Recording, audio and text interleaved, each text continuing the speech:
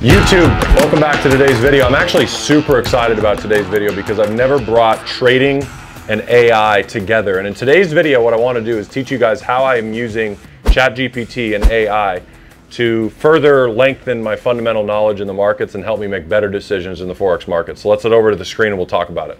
All right, so now that we're on the computer, guys, what we're going to talk about today is utilizing a couple different places, but Forex Factory is one of them for news and knowledge. Of course, as you guys know, for fundamental news, Forex Factory at least for me, is the place I like to go because everything's at my fingertips. I've been using this since I started trading in 2014, so it's easiest for me. I just have a little bit more history with it. But what I want to talk about specifically today is these news events that happen that don't have any related stories. So related stories help me read Twitter feeds, posts, articles, videos, all sorts of things. If I go to CPI, I can see all the stuff in related stories. But what I can't see is related stories here. I want to know what was said by Bailey today. And what I want to teach you guys is how to utilize ChatGPT to help you understand and articulate news, or at least decipher information. It's also acting almost like a research assistant because if you're trading and you have the charts up and you're busy, it's hard to know what's going on and it's nice to have a research assistant. So what I'm going to use today is ChatGPT.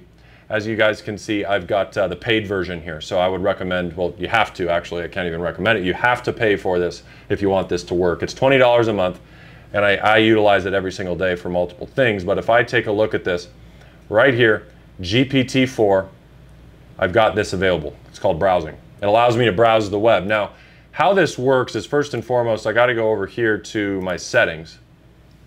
And under my settings, under beta features, I turned on web browsing and plugins. You have to do that as a Plus user to enjoy the early access of these features. Now keep that in mind that these are early access and there's plenty of times where I've noticed that this actually doesn't work perfectly. You have to prompt it in different ways, so we'll see how it does today.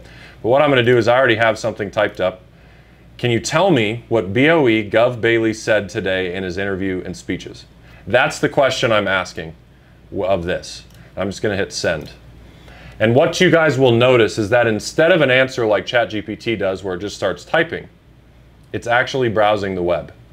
So I can click this arrow and it'll show me what it's doing. So it's searching BOE Governor Bailey's speech interview May 24, 2023. And it's immediately clicking on articles and searching. So what I'm gonna do is fast forward this video and show you guys what it comes up with. We'll be right back with you after these short commercials. Hey, it's me.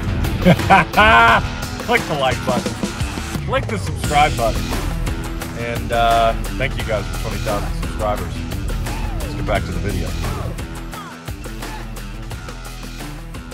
All right, guys, so now that we're back, you guys can see that it's now typing the findings, almost like a research assistant, it's just been a couple minutes, of the same area that we were unable to find, the same area that wasn't showing us related stories. And so now it's typing and we're able to you know, take a look at different emphasis points and summaries. It, it seems to give us this error message. It's just so new, but it was able to type out that. And I think that this is so unique for us because what this enables us to do is utilize browsing to help us sort of research. You know, another thing that happened today as I'm recording this, I'm sure by the time you're watching this, it's a different day, but that's okay, you'll get the point, is today was FOMC meeting minutes. Of course, there's I could easily click right here and take a look at the meeting minutes. But I could also come over here and I could do a new chat and I could browse again and I could say, please research and tell me what happened today with the FOMC meeting minutes. And I could do it again. And going a step further as it's browsing here, I'm going to go back over here and let this thing browse, is I could also take this and start a new chat. And anytime I don't understand something, I can always just come in here and paste the information and say, you know, something like, please summarize this in eighth grade terms explain things in detail for me. and I just let it rock. And what it does is it helps me as a maybe a beginner trader that I don't understand the fundamental analysis, it helps me to look at what's going on. You can see the difference in here compared to here. Andrew Bailey, who's the big boss of the Bank of England, said that they need to learn from their mistakes. Inflation, which is when price of things we buy get higher, it's really high right now, especially for food, is the highest it's been since the 1970s. That is extremely simple to under, understand. And uh, then I can go back again to these other chats here. And as it does finish browsing,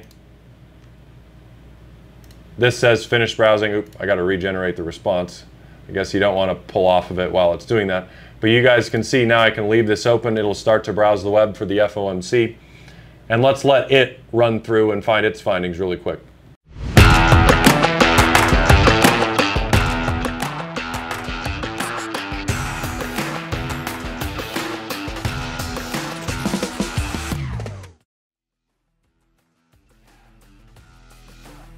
All right, guys, so check this out. Now that uh, we have finished, it's now researched the FOMC meeting minutes. And based off the meeting minutes, here's the key highlights. Rate increase uncertainty.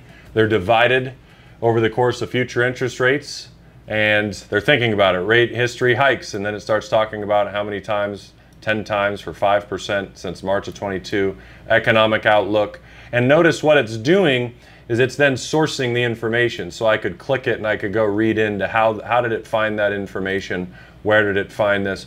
I think that this is gonna make your guys' life a ton easier. Hopefully this helps you guys understand a little bit better on how to utilize ChatGPT to research with fundamentals. And as usual, guys, if you guys are new to the channel or if you guys are returning to the channel, I want you guys to, of course, click that like button if you like videos just like this. Don't forget to subscribe. Thank you guys so much for 20,000 subscribers. I'm so excited we finally hit it.